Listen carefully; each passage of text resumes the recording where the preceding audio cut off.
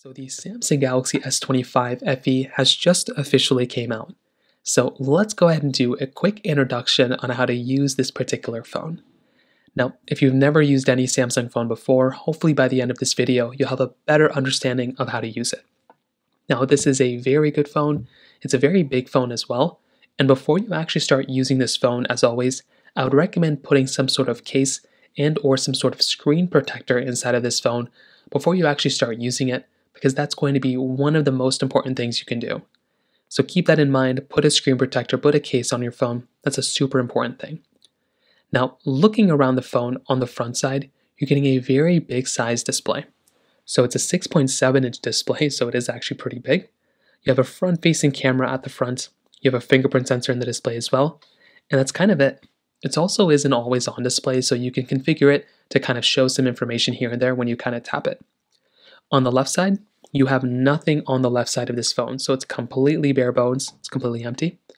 On the top side, you do have some microphone holes right there, so you can go and input your, you know, you can talk to the microphone, and that's something you can kind of do there. On the bottom, you have your USB Type-C port. So you have a USB Type-C port, and you have a SIM card tool here as well. So you can go through and input your SIM card right inside of this area, and your speaker go right here. But inside the SIM card, you can also, I believe, use an eSIM inside of your phone too. So if you have an electronic SIM, you can transfer that over, or you can still use a physical SIM on most models of the Galaxy S25 FE. On the right side, you have your power button as well as your volume up and down button. So if you want to quickly toggle down or up your volume, use the top button.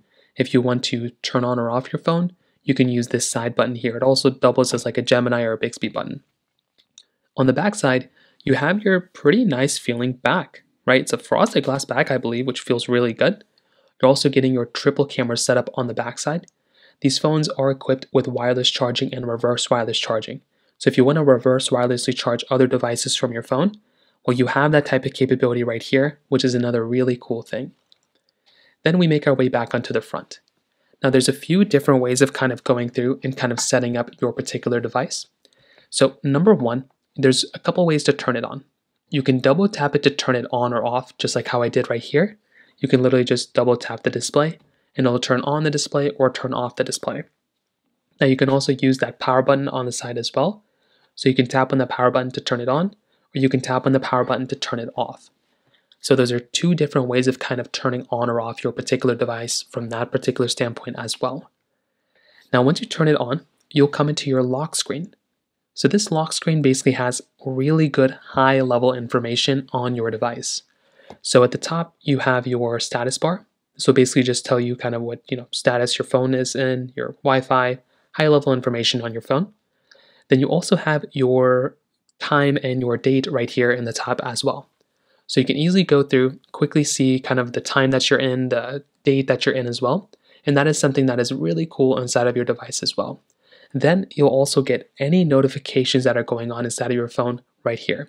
If you have any text, missed calls, emails, Instagram messages, anything like that, that information will basically showcased or be showcased right inside of this panel. So you can always go through once again, kind of manage your phone from these kind of pop-ups that happen right here. And that is a very cool other thing that you can kind of do in this situation as well. And you also have some quick toggles at the bottom. If you want to quickly jump into phone or camera, you can do that here too. Now, if you ever want to change anything directly on your lock screen, you can customize this whole entire lock screen by holding down on an empty portion of your lock screen like this, and you will basically come into this panel. So here is where you can quickly kind of toggle around and change some things within your particular device. I'd recommend every single person to kind of go through and start kind of customizing this device, you know, for the most part. So you can kind of go through, customize it in a lot of different ways. And I think there's a lot of different things you can kind of do here. So have some fun, start adding widgets, start customizing it. That's kind of a big thing I'd recommend every single user to do inside of their particular device. Whenever you're done, you can click on done in the top right corner. And to get out of your lock screen, all you have to do is just swipe up and you will basically come into your home screen. So the first part was the lock screen, this is the home screen. The home screen is where you're going to be every single time you come home. The top is going to be your status bar again, just the same thing. You have your other information that's kind of going on within your device. These are called widgets and these are called applications or app icons.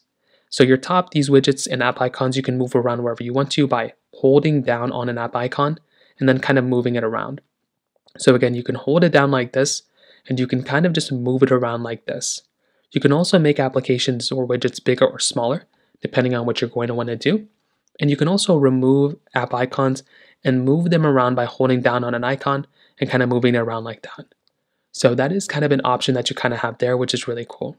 You can kind of swipe through and kind of add different pages of applications and things like that. And then you have your dock right there.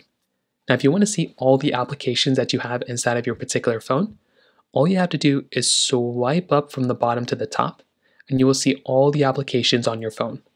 You can swipe around and kind of get into different pages and start to see all the applications. If you like an app, you can click on it and you can go home. If you want to go back to your home panel, you can just swipe down from here. Now, Android has a lot of applications that you can use right out the gate. So if you want to go inside of the Play Store, you click on the Play Store. If you want to make a phone call, click on the phone call, messages for messages, and camera to take photos. Now, once you open up an application, let's say we open up the Play Store, well, how do you come back home? Well, there's a couple ways to do it. You have this bar at the bottom that's either going to show you this nav bar or it's going to be a, a, solid white line that you can just swipe up. So if you have the nav bar, all you have to do is click on that middle icon to go home. If you have a bar at the bottom, you can swipe up from the bottom and it will take you home. Now, if you're in an application and you want to see all the historical applications that you've already opened up, let's say you've opened up all these apps and you want to see all the apps you have open, that center bar with the three lines is to basically do that. So you can swipe through all the different applications that you are into, and you can swipe out of these apps if you want to save some memory. If you're inside of an application and you basically go through and you go inside of a different page and you want to go to the previous page, you can click on the back button up here, or you can click on the built-in back button of your Android navbar right here, and it will also take you back into the previous panel as well. So you have a couple of different ways of kind of maneuvering around, but that's kind of one of the big ways of kind of using your particular Android device are these nav bar buttons. If you click home, you will basically come back home. Now, your status bar also contains a lot of information. If you swipe down on the left side of your status bar, you will basically come into your notification drawer. So here is where you'll basically see a bunch of notifications from your Android device. So with your S25 FE, you'll just see a bunch of information right here and you can tap on them to expand it further or you can swipe down from the top right corner to get into your quick toggles. These quick toggles contain a lot of quick little settings that you can kind of modify. So you can click on Wi-Fi to turn on or off Wi-Fi, increase or decrease the brightness, increase or decrease the sound, and you can customize this panel by clicking on the Customize Edit pencil icon right there. You can click on the power button to restart your phone and things like that. And you can jump into settings by clicking in settings. So settings is actually where we're going to go to next. So let's swipe up from the bottom and let's find our settings application. So tap under the settings application. Now this settings app contains a lot of really good information that you're going to need within your device. So go through, swipe through, and just try to get a good feeling of your particular device. So you can always go through and you know click on wallpaper and styles, security and privacy. A lot of these things are self-explanatory. One big one I'd recommend every single person to kind of get used to is this one under software update. So tap on software update and then click on download and install. And I'd recommend every single person downloading and installing the latest update available for your device. That is kind of one of the most important things I'd recommend doing. Because if you don't download and install the latest update, that can be one of the main problems you might run into. So go through, try downloading and installing the latest update available for your device. And that is another thing I'd recommend doing in this case to keep your phone kind of, you know, as secure as possible. So that pretty much covers it up there. Hopefully you have a better understanding of how to use your Samsung Galaxy S25 FE. If you have any other thoughts or questions, please let me know in the comment section below. Hit the like button, that'll mean so much, but definitely hit that subscribe button. More importantly than everything else, I love every single one of you guys. Hopefully I'll catch you guys in the next video. Peace out till then.